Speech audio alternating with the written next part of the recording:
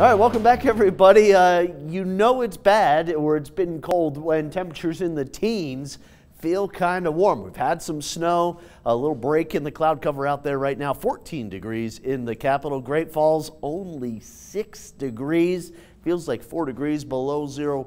Uh, east wind right now, but that wind is going to switch directions and come out of the west tomorrow and actually may cause a little blowing and drifting snow up off of the Rocky Mountain front, but still, it's a heat wave around Kalispell and Missoula. Temperatures right there near the freezing point. Look at West Yellowstone. What an odd uh, weather pattern it's been down there. Well above average temperature wise, well above average precipitation wise uh, for the last month, month and a half. Uh, the warmer air, though, is coming. A lot of these numbers add to 15, even 20 degrees on top of what you see right there.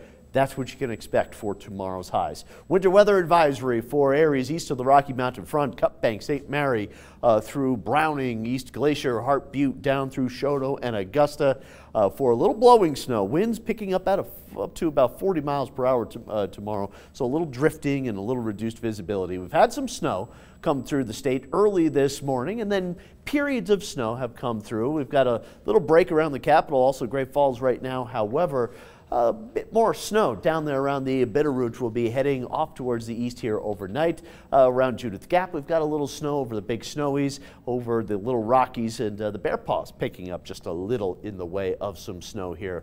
Uh, but there's kind of a complicated uh, situation here throughout the western U.S. One area of low pressure coming through, another stronger one down to the south, and then we've got a couple smaller areas of low pressure. This is not one big storm, but multiple lows coming through the west here, and one of them came through today. And we'll see another one come through early tomorrow morning with a little more in the way of some snow here, mainly west and along the Continental Divide. But partly cloudy skies, a bit of a west wind. Uh, believe it or not, that March sun angle is higher and higher, so the sun is stronger and stronger. So that will help to kind of mix out some of that uh, cold air tomorrow as well. And then Friday, yet another area of low pressure, mainly to the south, making some snow as far north as about the capital out through the Lewistown area. But if anybody is traveling Friday down through the Billings area, Bozeman up over Bozeman Pass, Livingston into southeast Montana, that's where there will be some snow. But most of Montana gets missed by this next system coming through. A couple of mountain snow showers Saturday.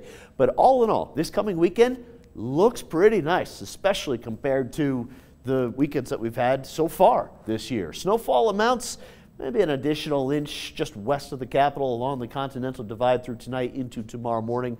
But watch as we go through Friday southern half of the state here starts to accumulate a little more snow with that low taking that southerly track. Forecast for tonight, single digits.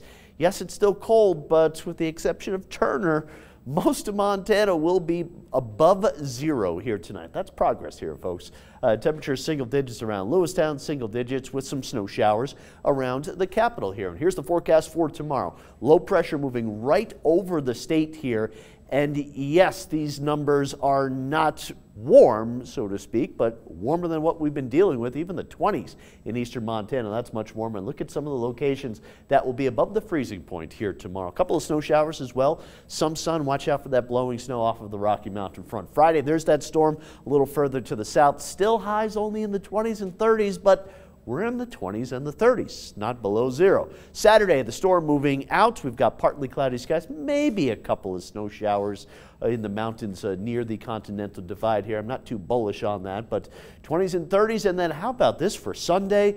If uh, you can recall, the last five or six Sundays, we've had snow. We've had wind chills well below zero. This is going to be a treat. Not much in the way of wind on Sunday and We'll lose that extra hour of sleep, but we will see that sun going down around 7 o'clock on Sunday night as we spring forward. The next snow event, Tuesday into Wednesday, but notice the uh, moderation in temperatures here. And I never said that it's not going to snow ever again. It is March, it is Montana, it is still winter.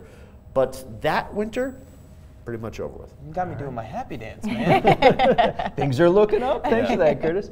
And in addition to that weather news, Carroll College got some good news today. That they did, that they did.